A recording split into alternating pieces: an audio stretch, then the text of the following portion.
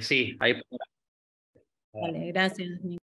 Entonces, la idea era como hablar un poquito de, cuáles son los rasgos principales y las tendencias en finanzas sustentables, pero de vuelta lo voy a hacer muy, muy rápido, no quiero hablar más de cuatro minutos, cinco minutos, así primero tenemos acá este, a Patricia que nos puede comentar un poquito de banca ética latinoamericana, y yo si quieren les puedo contar también un poquito de otras movidas que están pasando en el banco y en otros organismos internacionales, y también soy fellow en un fondo de inversión Em, que es un fondo de inversión de impacto. Eh, invertimos en organizaciones for profit, pero que bueno, sí consideramos como métricas de impacto ESG.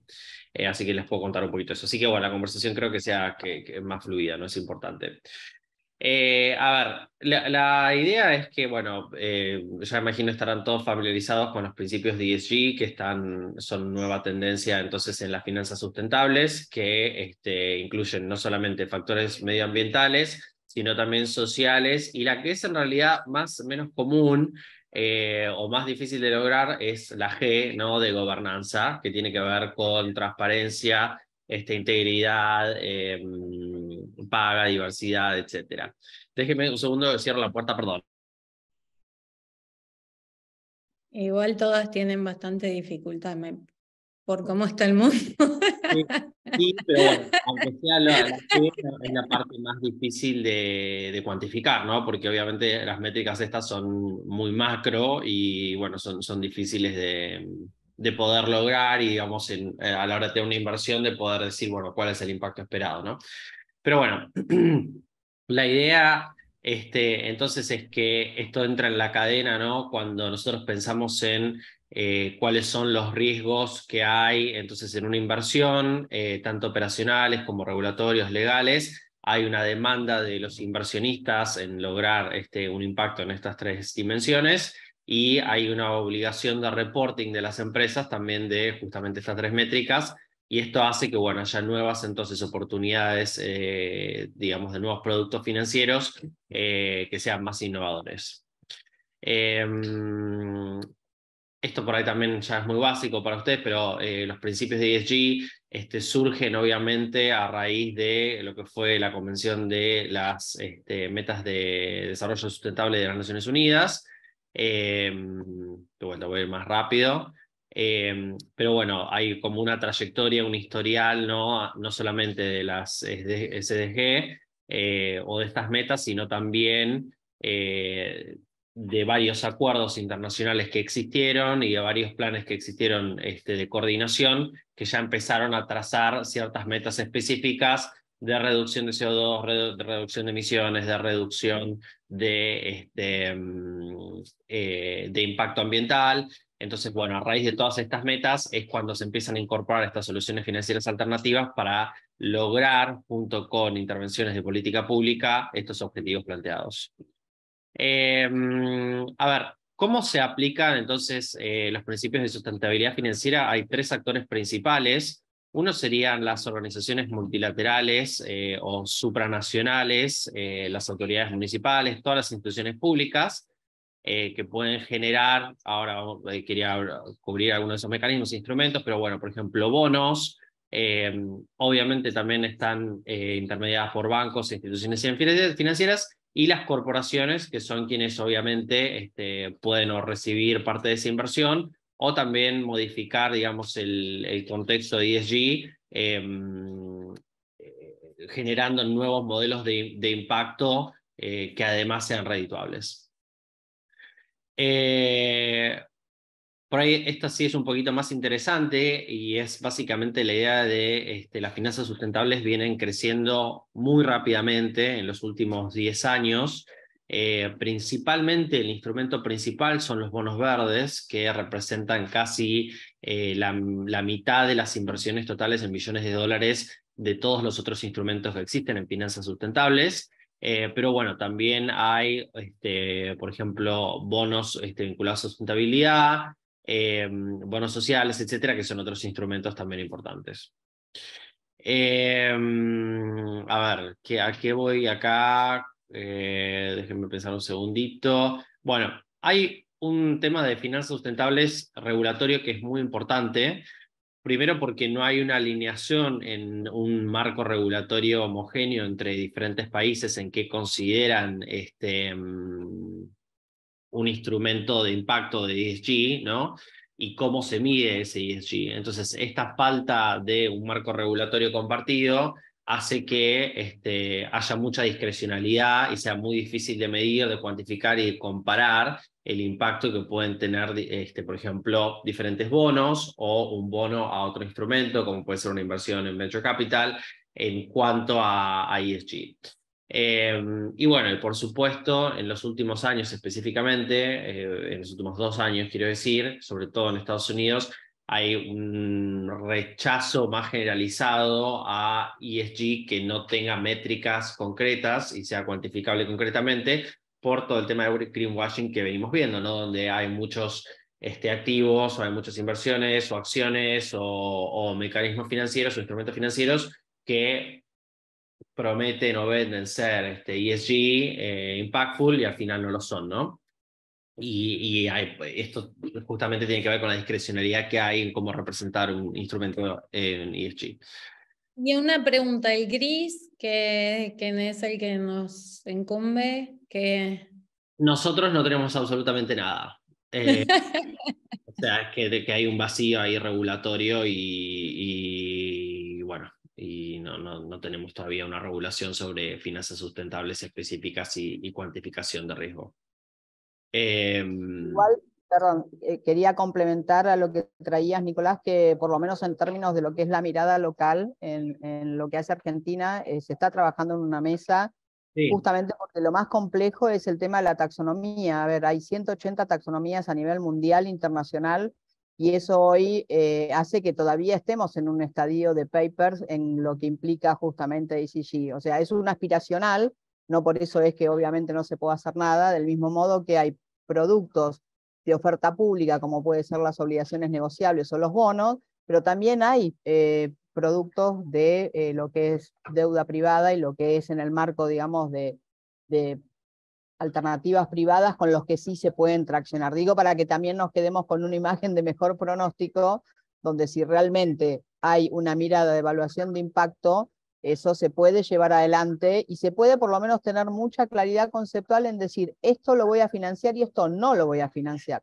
Y creo que ahí el gran y tremendo desafío lo tienen los bancos en ese, si se puede, giro copernicano, donde no pueden convivir en un mismo portfolio operaciones que financien gases de efecto invernadero y al mismo, modo, al mismo momento estén financiando renovables. Digo, en algún momento hay que pararse en algún lugar con un poco más de contundencia y decir, esto no lo vamos a financiar y esto sí lo vamos a acompañar, porque me parece que ahí, ¿no? Eh, si coinciden, es donde radica eh, como la acupuntura de esa conversación. Sí, y está muy bueno esto que comentás, Patricia, y, tal cual. Este, quería mencionar eso al final, eh, que justamente es verdad, el pronóstico no está sombrío en el sentido de que, bueno, está habiendo mucha actividad en los países, todavía hay mucho interés, tanto de empresas como de sistemas de certificación de, de impacto ESG, como de gobiernos en explorar estos nuevos o nuevos bonos verdes o nuevos mecanismos de financiamiento con impacto ESG. Así que eh, tal cual, hay un, por ahí lo que quise decir en realidad fue más, hay todavía una inmadurez regulatoria, justamente este tema que mencionás de la divergencia en taxonomía es súper importante, y hay este, bueno, todavía como no, no un plan tan claro de en qué industrias enfocarnos, ¿no? Sobre todo porque hay, algunas de las industrias en la TAM, por ejemplo, tienen todavía una gran dependencia en petróleo o este, están haciendo una conversión energética todavía muy lenta. Entonces, bueno, creo que cada país justamente va a tener que tener como una agenda productiva muy definida. En Argentina la agenda productiva compleja, entonces, este, también es difícil encontrar justamente ¿no? esta intersección donde tengamos una transición hacia impacto y una inversión hacia impacto que sea compatible con la agenda productiva que tenemos. Em, pero está súper interesante ahora, me gustaría como escuchar un poquito más de vos. Lo último que quiero contar es que, que, bueno, hay como generalmente una percepción errónea a veces de que las inversiones ESG eh, tiene un rendimiento muy inferior, muy inferior por lo general a una inversión este, indexada de mercado, ¿no? inversión en un índice del mercado. Y eso no necesariamente es así. Em, de hecho, hay muchas inversiones y muchos paquetes ESG que tienen un rendimiento y han tenido en los últimos 10 años, obviamente que es un instrumento bastante nuevo, pero han tenido en los últimos 10 años este, un rendimiento superior al mercado o a la tendencia del mercado. Así que no necesariamente hay que sacrificar, digamos, eh, rendimiento por, eh, y márgenes económicos por tener eh, una visión de impacto sustentable. Y mm, lo último que quería decir es por ahí también como este contexto, que no lo tengo acá en la, en la presentación, pero obviamente que eh, eh, Estados Unidos y, la Unión Europea están como impulsando la agenda de ESG más fuertemente, también tenemos que pensar que Estados Unidos, por ejemplo, tiene un fondo de pensiones que participan muy activamente y entonces representan un mercado muy grande en lo que es inversión ESG, que de vuelta, si contrastamos con la realidad de la TAM, que, que, bueno, somos nosotros, eh, es más compleja, ¿no? Porque, lo, o sea, verdaderamente tienen que ser iniciativas privadas y es más difícil involucrar al sector público del lado del inversor. Em, pero bueno, eso, quiero, quería solamente como presentar estos rasgos, si quieren podemos volver a la presentación y hablar un poquito más de tendencias, pero creo que dado que tenemos acá a Patricia, por ahí estaría bueno escuchar más de tu trabajo y bueno, este, Gabriel y Alberto, no sé si quieran comentar algo más de su experiencia o... Y yo quiero, quiero leer. Claro, también,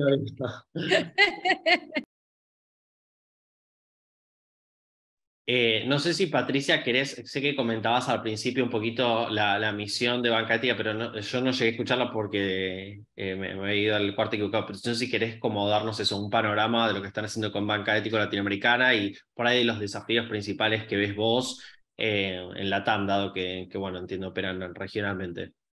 Tal cual. Sí, antes te pregunto, Adriana, si estamos ok con hacer un, un pequeño bullet muy, muy sintético. Sí, sí, encantada.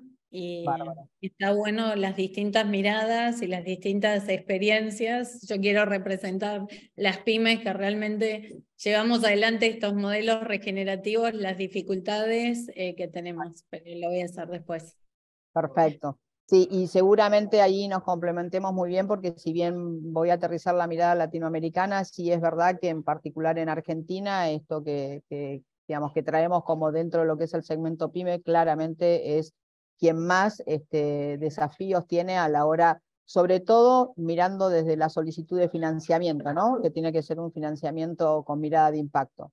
La buena noticia dentro de los pronósticos, digo la buena noticia, porque para los que estamos en esto, la verdad la agenda fue mutando afortunadamente para bien, porque esta misma conversación hace cinco años era mucho menos viable y permeaba mucho menos. Hoy por lo menos ya tenemos una conversación un poquito más aterrizada y en Argentina en particular hay una mesa de finanzas sostenibles dentro de lo que son actores como Superintendencia de Seguros, Banco Central y, y eh, CNB, lo que es este, justamente la parte más de oferta pública. Y a nivel LATAM, lo que sí vemos es que tenemos este desafío que a diferencia en este caso como lo que traía Nicolás de Europa, donde hay una misma regulación y una única moneda, en Latinoamérica tenemos identificar vehículos como para poder llegar a acompañar al financiamiento de impacto. Lo que sí también es verdad es que hay potencialidad porque hay una serie importante de iniciativas de impacto que en Europa están un poco, a veces inclusive lo habrán escuchado para quienes escucharon a Joan Mel en las conferencias, que a veces parece como una mirada de un continente viejo, ¿no? Pero no viejo porque la gente se había así, ¿no? Porque hay una mirada renovada en Latinoamérica que no hay hoy en este, Europa. Y eso para nosotros es una ventana de oportunidad. Digamos, hay muchísimo por hacer. No voy a decir acá algo que seguramente sabemos todos muy bien, los recursos naturales y la disponibilidad que tenemos y la resiliencia que tenemos también, porque es un dato no menor como un recurso personal en los equipos humanos que hacen que las cosas sucedan, y eso la verdad como mirada regional de Latinoamérica nos distingue mucho, porque nos ha tocado vivenciar cosas que hicieron también que tengamos un recurso y una fortaleza y una mirada distinta en ese sentido. No lo destaco como que sea algo mejor, lo que digo es, es un rasgo distintivo que nos permite también posicionarnos para abordar algo tan nuevo, entre comillas, como puede ser financiar eh, empresas, instituciones o iniciativas de impacto. Así que eso por un lado. Por el otro lado, ayer justamente, que después lo podemos compartir, Adriana, y estimo que se va a estar haciendo en junio localmente presentamos a nivel latinoamericano el primer reporte de impacto después de los primeros siete años de recorrer quien hizo punta de lanza en Chile y hoy por hoy ya somos este, Latinoamérica, con lo cual ya hay un portfolio de esas empresas que fueron financiadas, estamos hablando de más de 80 millones de dólares, siempre en moneda local, que ya pasaron por una evaluación de impacto. O sea, ahí tenemos un desafío de seguir gestionando y seguir generando activos, porque tienen que aparecer obviamente los sujetos de crédito, y sí coincido en que el inversor está empezando a mirar distinto. No importa si es por una cuestión de reputación, pero está empezando a querer diversificar y estar un poco más eh, en la conversación y en la agenda.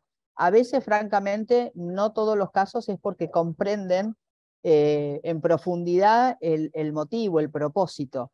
Pero muchas veces esto también se mimetiza con que quiero estar ahí, quiero estar en esa conversación, quiero que esto forme parte de mi agenda porque por estos principios que recién hablaba Nicolás de transparencia, los reportes de sustentabilidad empiezan a exigirles que tengan mínimamente una publicación que empiece a decir que no podés no estar dentro de lo que es por lo menos ODS o por lo menos lo que implica alguna gestión asociada a generar un impacto como compañía, como institucional.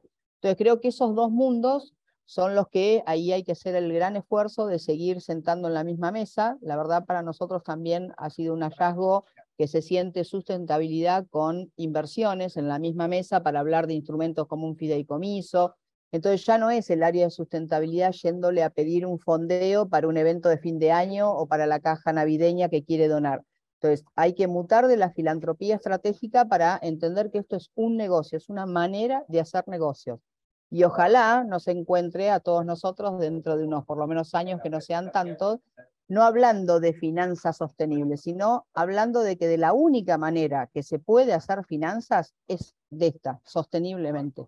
Porque ese sería el gran, digamos, giro y no hacer la distinción que hay finanzas de impacto o finanzas sostenibles y finanzas de no impacto, porque si no, creo que ahí eh, nos estaríamos debiendo, digamos, algo o en algo no habemos podido prosperar.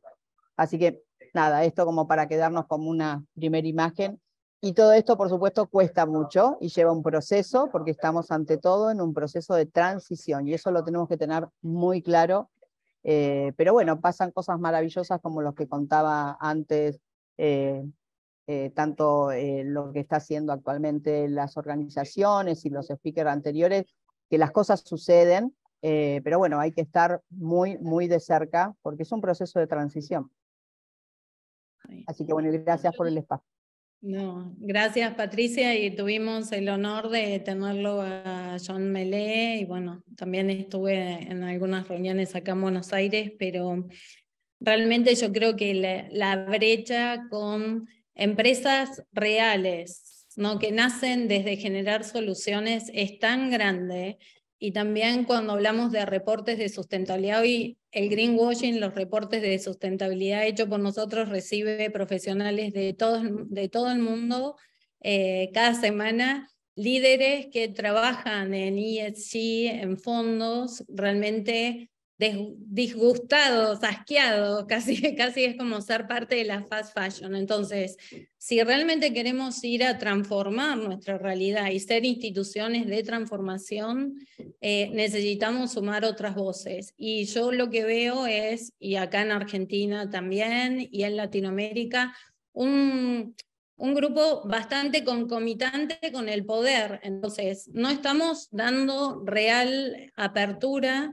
a soluciones reales. Y, es fácil verlo, porque si miramos la falta de integración de cadenas de valor, la falta de interés en las personas, en las pymes. Vos, yo trabajo con pymes día a día, no solo de Argentina, de toda Latinoamérica, están abandonadas. Los sistemas le hablan a las grandes multinacionales. Las multinacionales desconocen a las micropymes, las usan, destruyen nuestro, o sea, destruimos, porque no es, no es nadie entonces, nuestro sistema está demasiado viciado. Y yo creo que en espacios de, como la banca, que, que nace dando esta voz, es tan importante el rol de los emprendedores con ADN, que no hacemos empresas con reporte, sino que generamos soluciones, con, o sea, transformamos realidades y las ponemos en marcha y llegamos hasta el mercado. Entonces, estas voces son muy, muy fuertes para realmente entender cuáles son los problemas y cuáles son las soluciones a escalar. Y el financiamiento nos es totalmente adverso. El financiamiento en el área de sustentabilidad está a la mano de las grandes empresas que no, no se encargan de las personas, no se encargan del medio, del medio ambiente. Es, es una realidad común, si no, no tendríamos los problemas que tenemos. Entonces, realmente yo creo que este, este diálogo es sumamente importante. Y acá lo tenemos a Gabriel, eh, que le quiero dar la palabra, otro hacedor de, generar soluciones increíbles. Y bueno, México creo que está un poco mejor que, Argentina en cuanto a, a, digamos, colaborar, digamos, en los distintos aspectos a empresas sociales, ¿no? Gracias, Adriana. Sí, fíjense, pues un poco platicar eh, mi experiencia y en base a esto del tema del financiamiento. Eh, nosotros, Altitud, prácticamente son dos modelos de negocio. Eh, iniciamos como una financiera, nosotros no somos una microfinanciera. Y, y en este tema del financiamiento, nosotros no nos vemos como financieros, sino nosotros tenemos una plataforma financiera para poder desarrollar el modelo financiero y sostenible. Lo que nosotros hacemos es financiar las máquinas de coser a, personas, principalmente mujeres, jefas de familia en sus casas, de condiciones muy vulnerables, para que empiecen a trabajar en talleres productivos. Entonces vimos que la única manera de hacer un modelo sostenible es a través de ofrecer un financiamiento accesible, no dándoles dinero, porque hemos trabajado mucho tiempo y hemos visto el problema que muchas veces como, como financiera, dar dinero, muchas veces estás tú mismo siendo responsable de un sobreendeudamiento porque muchas veces ese dinero no llega al activo productivo, se queda en deuda, se quedan diferentes cosas. Me da pena a veces y tristeza llegar a ver clientes de nosotros o posibles clientes donde entro a la casa, la casa se está destruyendo, pero tienen una plasma más grande que, que, me encantaría tenerle, que mi esposo me diría, estás loco y no te la vas a comprar. Y dices, ¿cómo, cómo la tienen? O sea, y son con pagos, eh, en créditos, obviamente, súper caros, a muy largo plazo. Entonces, algo que nosotros hemos visto en pues, casi ya 15 años es, o sea, el modelo del financiamiento directamente a pymes y a, gente vulnerable tiene que cambiar. O sea, como, como instituciones financieras tenemos que involucrarnos muchísimo más en el proceso de, de acompañamiento al cliente que solamente dar dinero.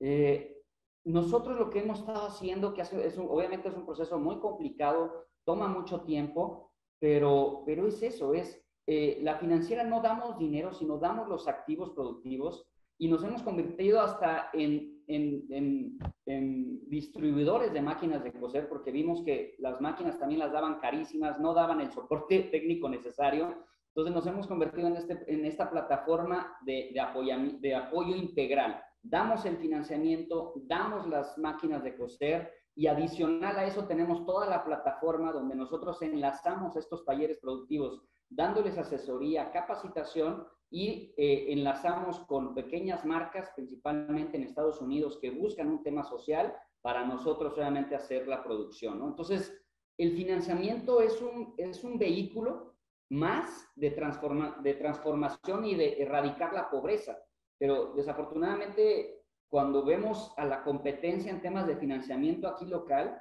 pues a ellos les, no les importa nada en qué hagan con el dinero, ¿ah? Y en teoría son financiamientos productivos, pero yo te doy el dinero, por mí te puedes comprar la plasma, por mí te puedes comprar zapatos, mientras a mí me pagues o te reestructuro para que no se vean mal los números, haz lo que quieras, ¿no? Entonces, creo que eso es algo que hay que poner eh, eh, en la mesa en el tema del financiamiento, que tenemos que involucrarnos más en el proceso. Total, y absolutamente también cuando yo veo, eh, no sé, existe toda una propaganda de los proyectos sociales y hablamos de la realidad de nuestro país. Vos imaginate un microcrédito a una persona en una, una zona sola, eh, vulnerable, con falta de absoluto, que le llega un microcrédito, sin un capacity building, sin una contención de ayuda en paso a paso, sin ayudarla a llegar al mercado.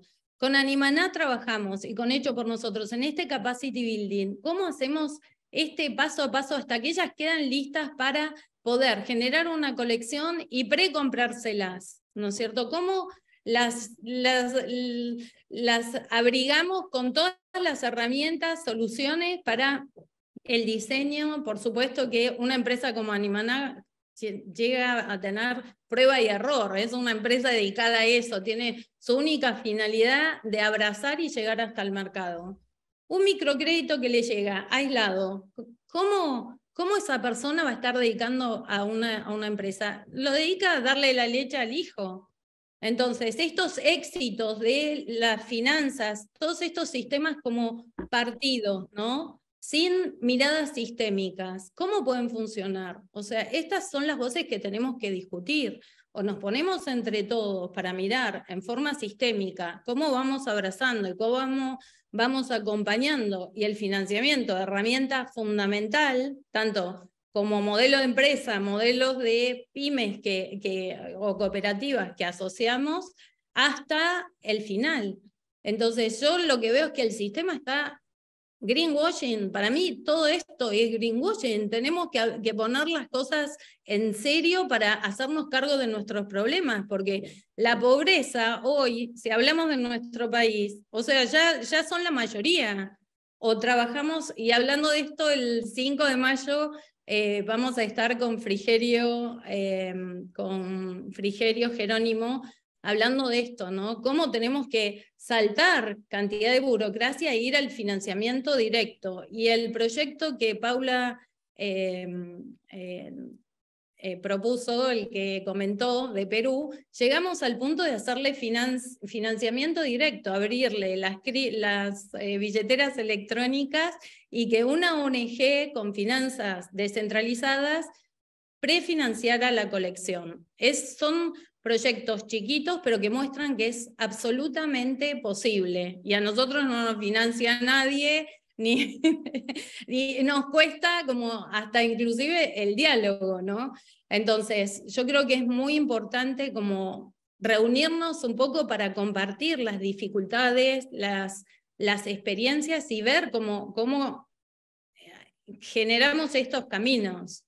Y me encantaría escucharlo, bueno, Alberto, no sé si te, te queremos sacar, si tenés algo, pero después a Nico, desde esta perspectiva también, Banco Mundial, tantas organizaciones que derivan tanta plata. Uno va a la gente, lo único que crece es la pobreza, o sea, ¿qué es lo que, cómo, cómo hacemos esta autocrítica, no? y los jóvenes que están en estas instituciones. Eh, ¿cómo, ¿cómo articulamos esta transformación? Me callo. No, solo sepamos que si en 48 segundos nos, nos aceptan para la sala general. No puede ser, ya pasó el tiempo. Ya, se, se, acaba el evento, así que por ahí en realidad más este, agradecerles, la verdad que es súper interesantes las perspectivas, este, Patricia y Gabriel, que, que brindaron mi Adri, obvio también. Eh, estamos ahí disponibles en LinkedIn. Eh, y bueno, la verdad que es eh, súper interesante seguir escuchando lo que están haciendo desde dos ámbitos completamente diferentes, pero, pero bueno, creo que todos estamos empujando en la misma dirección y es parte como de este esfuerzo concertado que podamos tener resultados. Así que les agradezco. O sea, que el tema esté en el centro y que estemos tratando, pero... Bueno